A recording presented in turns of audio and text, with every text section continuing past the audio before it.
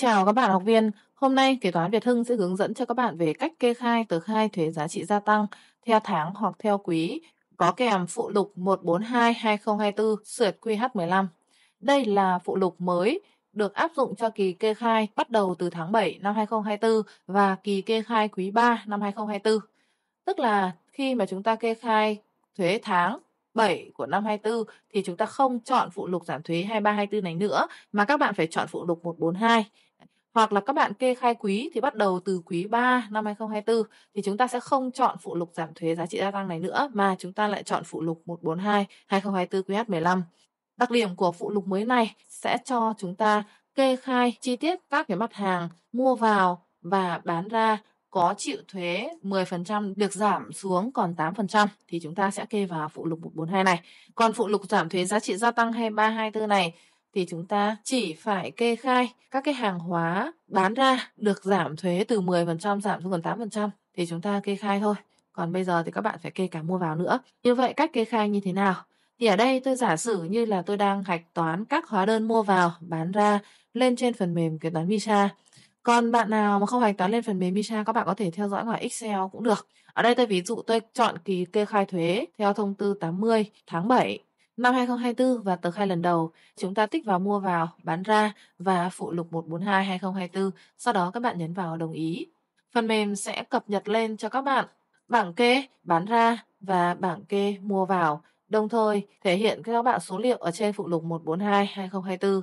Phần trên mục 1 chính là hàng hóa dịch vụ mua vào trong kỳ được áp dụng mức thuế suất giá trị gia tăng 8% và thể hiện tên mặt hàng, cụ thể giá trị chưa bao gồm thuế và cột 4 là tiền thuế được khấu trừ trong kỳ này chính là số tiền thuế đã được giảm. Tương tự đối với mục 2 hàng hóa dịch vụ bán ra trong kỳ thì cũng bao gồm tên và tư hàng hóa cụ thể, giá trị của hàng hóa chưa thuế, tỷ lệ tính thuế 10% giảm còn 8% và cột 6 chính là tiền thuế đã được giảm.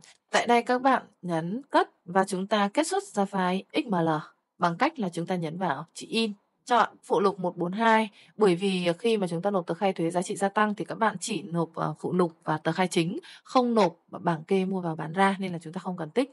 Sau đó các bạn nhấn vào chữ in. Tại đây các bạn chọn vào xuất khẩu XML Chúng ta lưu vào một ổ nào đó ở trên máy tính và không cần xem. Tại đây thì các bạn nhìn thấy chỉ tiêu 22 số thuế được khấu trừ kỳ trước chuyển sang thì à, kỳ trước chúng ta không có thuế khấu trừ nên là chỉ tiêu 22 bằng 0.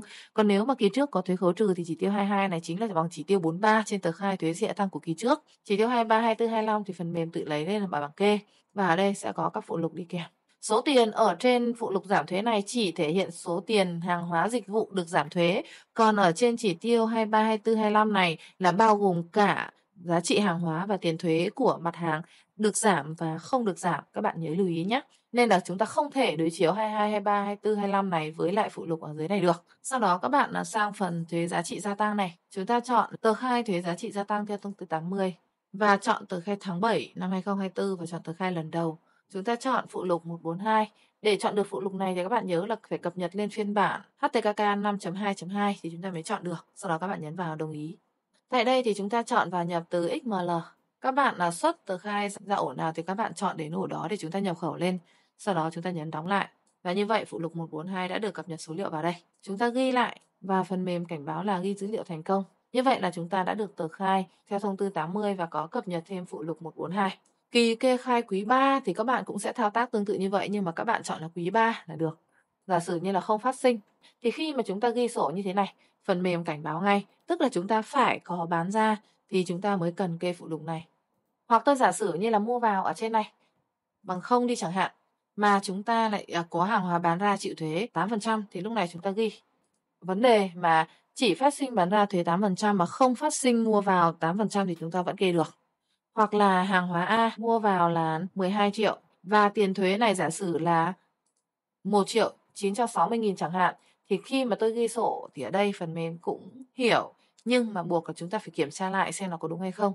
Chứ còn đối với mua vào là phần mềm sẽ hiểu đấy nên các bạn nhớ lưu ý để chúng ta điền số liệu cho chính xác.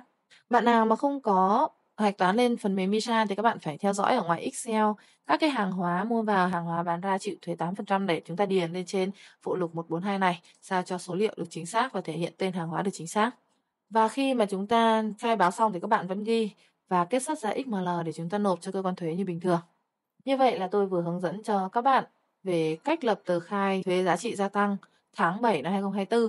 Còn nếu như các bạn lập tờ khai thuế giá trị gia tăng quý 3 năm 2024 vào tháng 10 ấy, thì các bạn cũng chọn tờ khai quý 3 năm 2024 như bình thường. Tại đây thì chúng ta sẽ lựa chọn được là phụ lục 142. Còn nếu mà bạn nào kê khai quý 2 năm 24 là chúng ta sẽ không chọn được phụ lục 42 mà chúng ta chỉ chọn được phụ lục giảm thuế này thôi. Do đó là phụ lục giảm thuế 142 kê được bắt đầu từ quý 3 năm 2024 trở đi thì chúng ta chọn được. Và các bạn cũng sẽ khai báo như bình thường.